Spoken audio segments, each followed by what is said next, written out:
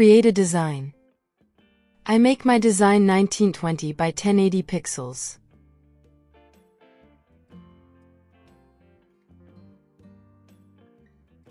Select text. Then select Add a text box. Type your text. Then select a font.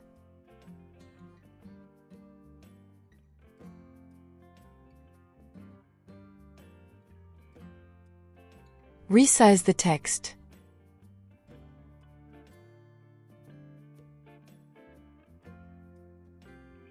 Select position. Align the text in the vertical and horizontal center. Select Effects. Then select Outline. Leave the thickness at 50. Pick a color.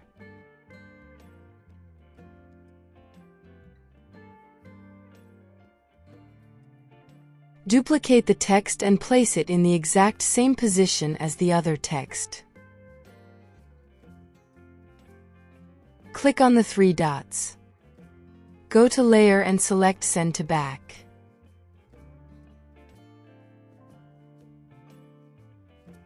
Make the thickness 100. And pick a different color.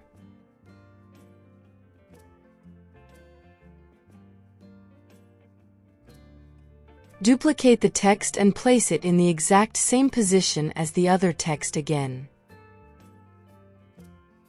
Click on the three dots.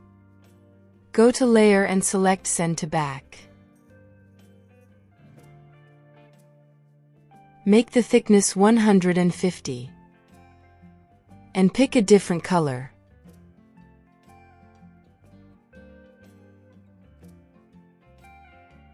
Duplicate the text and place it in the exact same position as the other text again.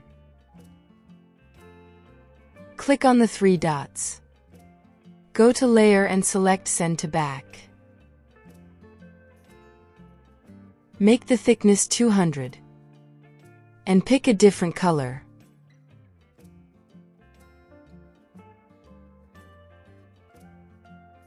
You can select all the text layers to move or resize them.